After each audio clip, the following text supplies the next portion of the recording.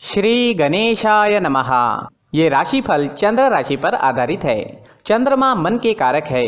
हमारे मन पर जो भी उतार चढ़ाव आते हैं, वो चंद्रमा की स्थिति लेकर आती है। और इस वजह से चंद्रमा की पोजीशन हमारे रोज के जीवन को बहुत ज़्यादा प्रभावित करती है। और इसके अकॉर्डिंग हमारा दिन अच्छा या बुरा जाता है। तो आइए जानते हैं इस दिन चंद्रमा आपके लिए किस तरह के परिणाम ला रहे हैं। दोस्तों, इस दिन चंद्रमा आपके पहले भाव में, लग्न स्थान में यानी आपकी राशि में ही रहेंगे। जी हाँ चंद्रमा की ये पोजीशन आपके लिए काफ़ी अच्छी रहेगी। इसका मतलब ये दिन आपके लिए बहुत ही बढ़िया जाने वाला है। इस समय में आपकी हर इच्छा, हर मनोकामना पूरी हो सकती है। सुबह से ही आप उत्साह में रहेंगे, जोश से भरपूर रहेंगे। अगर आपके कोई काम पेंडिंग है तो ये सही वक्त है उन कामों को पूरा करने के लिए। इस दिन आपका मन प्रसन्न रहेगा टेंशन फ्री रहोगे। पॉजिटिव सोच के साथ आज के दिन की शुरुआत होगी। इस दिन आपको कोई बड़ी खुशखबरी भी मिल सकती है। जी हाँ कुछ ऐसी खुशखबरी मिल सकती है जिसकी आप या तो वेट कर रहे थे या तो आपने उसके बारे में सोचा भी नहीं था। इस समय में आपको पारिवारिक सुख मिलेगा, परिवार में भी कोई बड़ी खुशी इस समय में आने की संभावना है। ये समय नौकरी करने के लिए उत्तम है। जी हाँ नौकरी पेशा लोगों के लिए समय बढ़िया रहेगा। इस समय में अगर आपको निवेश करना है तो निवेश ज़रूर करें, क्योंकि चार गुना फल तक इस समय में आपको प्राप्त हो सकता है। इस वक्त आपकी डेली की इनकम में बढ़ोतरी होगी, जो लोग डेली में कमा रहे हैं। जिनका इनकम डेली में दिखाई देता है, उन लोगों के लिए ये समय बहुत ही बढ़िया रहने वाला है। और अगर आप पार्टनरशिप में बिज़नेस करते हैं तो बिज़नेस पार्टनरशिप से भी आपको बढ़िया लाभ होगा। इस समय में आपकी मैरिड लाइफ मधुर रहेगी, घर परिवार में प्यार और शांति का माहौल रहेगा। परिवार के साथ घूमने फिरने के लिए, खुशियाँ मनाने के लिए ये समय काफ़ी अच्छा रहेगा। आपके पार्टनर से, परिवार से आपको पूरा सहयोग इस समय में मिल रहा है।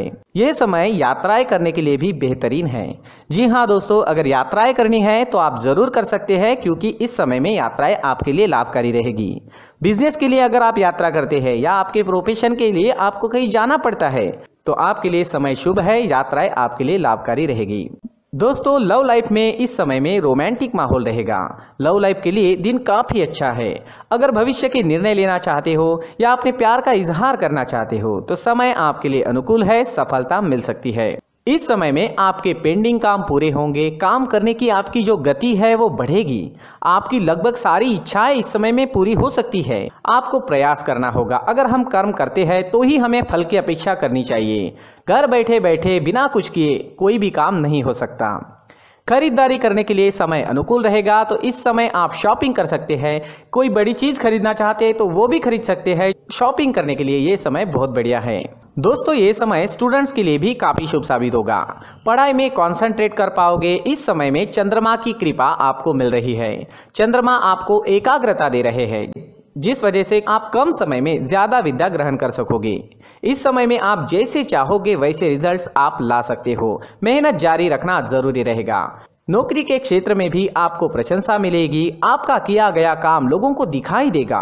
मित्रों के बीच आपका उठना बैठना इस समय में हो सकता है।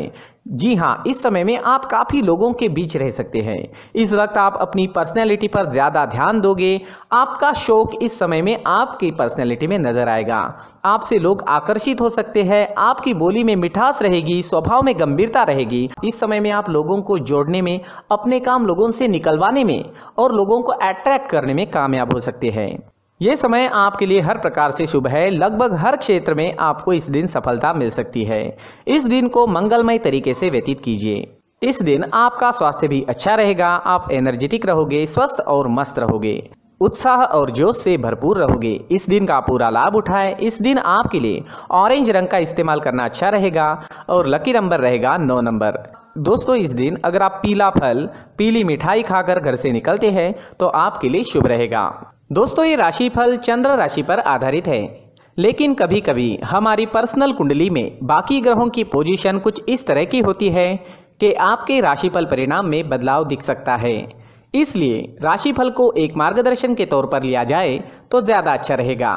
दोस्तों, सभी राशि के लोगों के लिए, जीवन में आगे बढ़ने के लिए कुछ ज़रूरी बातें वीडियो में आगे बताई गई है। तो वीडियो आगे ज़रूर देखें। नमस्कार दोस्तों। व्यक्ति को अपने जीवन में सफल होने के लिए मेहनत के साथ साथ भाग्य का साथ होना भी बहुत ही आवश्यक होता है। अगर व्यक्ति का भाग्य उसका साथ देता है तो कम मेहनत में ही अधिक सफलता प्राप्त होती है। परंतु कई बार ऐसा देखा गया है कि व्यक्ति के जीवन में कई ऐसी घटनाएँ घटित होती है, जिसकी वजह से उसको बहुत सारी परेशानियों का सामना करना पड़ता है। और इस स्थिति में व्यक्ति को बिल्कुल भी समझ नहीं आता कि ऐसा क्यों हो रहा है। दरअसल, आपके घर में ही कुछ ऐसी चीज़ें होती है, जो हमारे भाग्य को प्रभावित करती है, हमारे जीवन को प्रभावित करती है। और उन चीज़ों के आसपास होते हुए भी हमें वो चीज़ें नज़र नहीं आती, वह चीज़ें हमारे चारों तरफ़ एक अजीब सा घेरा बनाकर रखती है, परंतु हम उसको नहीं देख पाते। इन चीज़ों से हमारे घर में और हमारे जीवन में नकारात्मकता फैलती है, जिसकी वजह से हमें नुकसान उठाना पड़ता है। जिसकी वजह से हमें भारी नुकसान उठाना पड़ता है, हम पूरी तरह से कंगाल हो सकते हैं। अगर आप कहीं बाहर से आते हैं और अपने जूते चप्पल इधर उधर कहीं भी उतार देते हैं तो ये अशुभ होता है, क्योंकि इधर उधर जूते चप्पल उतारने की आदत की वजह से आपको अपने जीवन में आगे बढ़ने में रुकावटें उत्पन्न होती है। इससे उन्नति में बाधा आती है, इसलिए आप अपने जूते चप्पलों को उनकी जगह पर ठीक प्रकार से रखें। दोस्तों, काफ़ी लोगों को इस तरह की आदत होती है, कहीं से भी बाहर से आते हैं, कहीं भी जूते चप्पल फेंक देते हैं, कहीं पर भी उतार देते हैं। कुछ कुछ लोग तो घर के एंट्री के मेन डोर के सामने ही जूते या चप्पल डायरेक्टली उतार देते हैं। ये तो बहुत ही गलत है, साथ ही कुछ लोग जूते, चप्पल उल्टे रख देते हैं, उस पर ध्यान नहीं देते, लेकिन इन चीज़ों पर ध्यान देना बहुत ज़रूरी होता है और जूते, चप्पल हमारे जीवन को बहुत ज़्यादा प्रभावित करते हैं। दोस्तों, ध्यान रखें, जूते, चप्पल हमेशा साफ़ सुथरे रखें और उनको उनकी जगह पर रखें, उनके लिए एक स्थान बनाएँ। उस स्थान पर रखें, अगर कोई व्यवस्था उनके लिए की है तो बहुत ही अच्छी बात है, वहाँ पर उन्हें रखें। साफ़ सुथरा रखें जूते चप्पलों को उनकी जगह पर कुछ इस तरह से रखें कि वो देखने में भी अच्छी लगे। अगर वो चीज़ें देखने में अच्छी लग रही है तो फिर उनसे निगेटिव एनर्जी उत्पन्न होने की संभावना बिल्कुल भी नहीं रहेगी। तो दोस्तों, इस बात का ध्यान ज़रूर रखें। साथ ही दोस्तों, एक और बात है, जिस पर आपको ध्यान देना बहुत ज़रूरी होता है हमारे घर के छत के ऊपर। जिन चीज़ों का हमें काम नहीं होता है, उन्हें हम घर के छत के ऊपर रख देते हैं। ऐसा करते करते देखेंगे तो घर के छत के ऊपर कबाड़ जमा दिखता है। जी हाँ जो चीज़ें हमें लगता है आगे जाके हमारे काम में आ सकती है, वो हम घर के ऊपर रख देते हैं। लेकिन वो चीज़ें तो काम में नहीं आती, हमारे जीवन पर वो चीज़ें बहुत ही गहरा निगेटिव इफ़ेक्ट डालती है। इसलिए हमारे घर के ऊपर का जो भी एरिया है, वो पूरी तरह से साफ़ सुथरा रखें। जी हाँ साफ़ सुथरा रखना है। और एक भी बिना काम की चीज़ हमारे घर के ऊपर नहीं रखनी है। दोस्तों, नहीं तो हम जीवन में मेहनत करते ही रहेंगे और हम जितना पा सकते हैं, उतना नहीं पा सकेंगे, क्योंकि ये चीज़ें हमें कहीं ना कहीं हमारे जीवन में पीछे रखेगी। इस वजह से घर के छत को पूरी तरह से साफ़ रखें, पूरी तरह से साफ़ सुथरा रखें, क्लीन रखें। साथ ही दोस्तों, हम हमेशा देखते हैं घर के ऊपर जाने के लिए जो सीढ़ियाँ है, उन सीढ़ियों के नीचे जो जगह होती है, वहाँ पर सामान हमेशा रख दिया जाता है। वो जगह ही ऐसी है कि सामान को खींची लेती है। वहाँ पर आपको कुछ ना कुछ सामान मिलेगा ही। जिन लोगों को पता नहीं है, उनके घर आपको सामान मिलेगा ही। लेकिन जिन्हें पता है, वो लोग हमेशा सीढ़ियों के नीचे की जगह साफ़ सुथरी रखते हैं। और एक भी चीज़ वहाँ पर आपको नहीं मिलेगी। क्योंकि अगर हम सीढ़ियों के नीचे सामान रखते हैं तो हमारी उन्नति होना बहुत ही मुश्किल है। जी हाँ सीढ़ियों के नीचे कूड़ा, कचरा, कबाड़ अगर हम जमा करके रखते हैं, कोई भी सामान रख देते हैं तो उस वजह से माँ लक्ष्मी हम पर प्रसन्न नहीं होती। माँ लक्ष्मी हमारे घर में आने की संभावना बहुत ज़्यादा कम हो जाती है। तो दोस्तों इन चीज़ों पर ध्यान रखें। हमारे घर की जो सीढ़ियाँ होती है, उनके नीचे की जगह हमेशा साफ़ सुथरी रखें, क्लीन रखें। साथ ही दोस्तों, अगर आपके घर में ऐसी कोई चीज़ मौजूद है, जिसका आपको काम नहीं है, जैसे टूटे फूटे बर्तन, आईना, तस्वीरें, इलेक्ट्रॉनिक सामान, सोफा, कुर्सी, टेबल, पलंग, घड़ी, झाड़ू, गमला इत्यादि तो आप इन सामानों को अपने घर से तुरंत ही बाहर निकाल दीजिए। वरना इससे आपको बहुत बड़ी परेशानी हो सकती है। आपको ये चीज़ें कंगाल बना सकती है। तो घर में ऐसी चीज़ों का मौजूद होना शुभ नहीं माना गया है।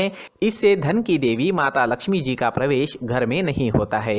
इन चीज़ों से आपके घर में नकारात्मक ऊर्जा का संचार होता है और जिस वजह से व्यक्ति को मानसिक समस्याओं का सामना भी करना पड़ता है। व्यक्ति के मन में चिड़चिड़ाहट होती है और छोटी छोटी बातों पर गुस्सा आने लगता है। आप जो भी कार्य करते हैं, उसमें आपका मन नहीं लग पाता है। इस व्यक्ति का जीवन घर में मौजूद इन चीज़ों की वजह से अंधकार में डूबने लगता है। इसलिए आपको घर में बिना काम की चीज़ें कूड़ा कचरा नहीं रखना है। दोस्तों, एक और ख़ास बात है। हमारे घर में मकड़ी का अगर जाला है तो वो बिल्कुल भी शुभ नहीं है। जी हाँ वो अशुभ माना जाता है। घर में मकड़ी का जाला होना अशुभ है। इससे आपके अच्छे दिन भी बुरे दिनों में बदल सकते हैं। क्योंकि मकड़ी अपना जाल शिकार को फंसाने के लिए बनाती है। और अगर आपके घर में मकड़ी का जाला है तो इससे घर में नकारात्मक ऊर्जा का प्रभाव अधिक बनता है। और वास्तुशास्त्र के अनुसार इससे सकारात्मक ऊर्जा का नाश होना शुरू हो जाता है। और घर में नकारात्मक ऊर्जा बहुत ज़्यादा बढ़ जाती है। इसलिए आप अपने घर को हमेशा साफ़ सुथरा रखें। कम से कम एक महीने में अपने घर के हर कोने की साफ़ सफ़ाई ज़रूर करें। दोस्तों, मुख्य द्वार भी हमेशा साफ़ सुथरा रखें। मुख्य द्वार मुख्य द्वार को हमेशा सजाया जाता है क्योंकि मुख्य द्वार से ही हमारे घर में लक्ष्मी का प्रवेश होता है। तो मुख्य द्वार को साफ़ सुथरा रखें और सजा कर रखें तो बहुत अच्छा रहेगा। इससे मानसिक रोग और घर की परेशानियाँ दूर हो जाएगी, धन की कोई कमी नहीं रहेगी और इसके साथ साथ आय के नए स्रोत भी खुलने लगेंगे। इसी के साथ और कुछ चीज़ें हैं, जैसे टूटी फूटी जो भगवान की मूर्तियाँ होती हैं, वो हमारे घर में नहीं रखनी चाहिए। साथ ही जो भगवान के पुराने फ़ोटो है, जो जमा करके रखे हुए होते हैं तो दोस्तों वो चीज़ें नहीं रखनी चाहिए। जो भगवान के फ़ोटो या भगवान की मूर्तियाँ जो घर के मंदिर में हैं, बस वहाँ तक सीमित है। अगर आपके घर के शोकेस में भी वो मूर्तियाँ रखी है, कुछ फ़ोटो रखे थे, उन्हें भी साफ़ करते रहना चाहिए। जिन चीज़ों को हम मेंटेन नहीं कर पाते, साफ़ नहीं रख पाते, उन चीज़ों को घर से हटा देना ही आपके लिए अच्छा रहेगा। साथ ही दोस्तों, कुछ तस्वीरें हैं। जैसे डूबते नाव की तस्वीर, या फिर झगड़े की तस्वीर, या फिर कुछ ऐसी तस्वीरें होती है जो देखते ही हमें समझ में आ जाता है कि ये तस्वीर निगेटिविटी दर्शा रही है। इस तरह की तस्वीर भी आपको आपके घर में नहीं रखनी है। जी हाँ इस तरह की तस्वीर लगाने से भी हमारे जीवन में उसी तरह की घटनाएँ घटित होना शुरू हो जाता है। हर एक चीज़ हमारे घर की हम पर प्रभाव डाल रही है। इस तरह के बदलाव आप आपके घर में ज़रूर करें। धन्यवाद।